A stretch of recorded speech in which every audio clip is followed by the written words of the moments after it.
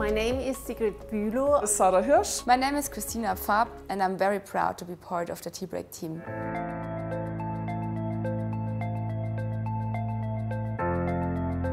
The mission of our project is to overcome treatment failure in rheumatoid arthritis. Rheumatoid arthritis is uh, a very common disease, so around 1% of the world population is affected. Those patients suffer from chronic pain and functional impairment. I'm chair of the Department of Rheumatology and Clinical Immunology. A substantial number of patients do not respond to treatments. Plötzlich ging es nicht mehr weiter zu laufen. Jede Bewegung, jede Drehung, alles tut richtig weh. And therefore novel treatments are urgently needed.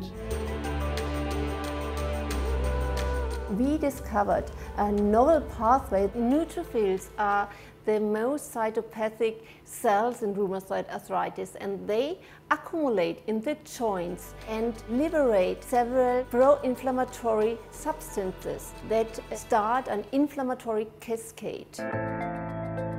The current medications inhibit late in this inflammatory cascade. By inhibiting the newly discovered inflammatory pathway, a complete new era of therapy in rheumatoid arthritis is possible. Should we succeed in clinics, our drug will be a game changer. It can also be tested in other autoimmune diseases like systemic lupus or in other inflammatory diseases like inflammatory bowel disease. This will open a tremendous market.